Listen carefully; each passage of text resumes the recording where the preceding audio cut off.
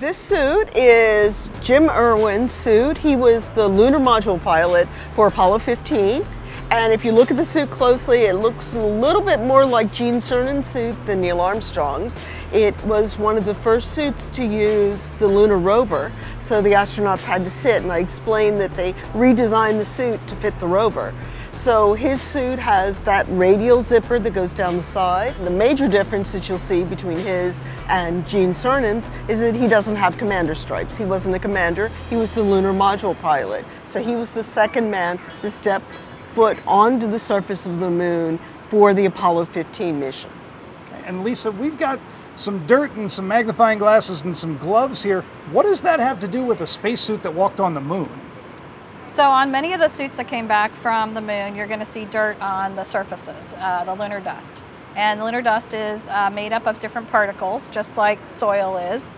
And if you've studied soil in science, you know there can be different minerals in that material. And so the lunar dust happens to be made up of six different types of minerals that are very sharp and angular. So they embed themselves into the spacesuit material and we can't get the lunar dust to come out. So even though it looks like it's on the surface and it's going to fall right off, it's really just embedded into those suit materials. You're going to see how even though if you get dust embedded into your materials or fabrics that it is difficult to get it off and what that looks like under the microscope.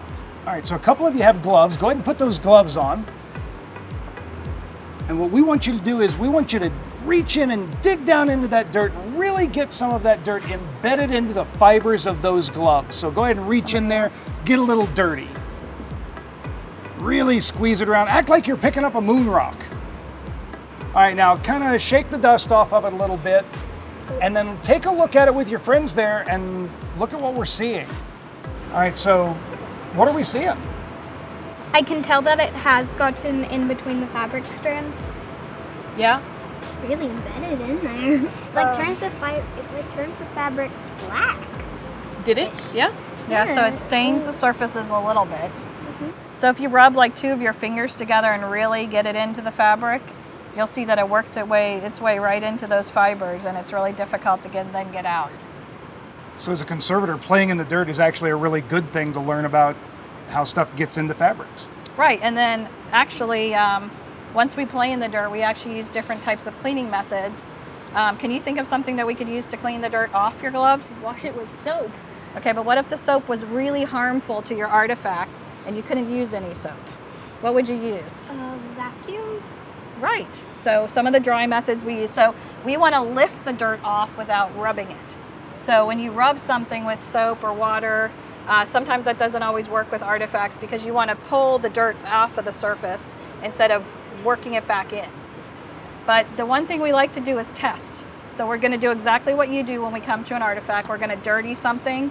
We're going to mock up something that's similar to what we have in our lab.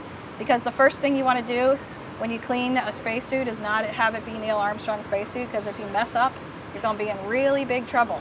So we got to make an experiment, and then we're going to work different ways to clean off that dirt till we find the one that's the safest for our artifact.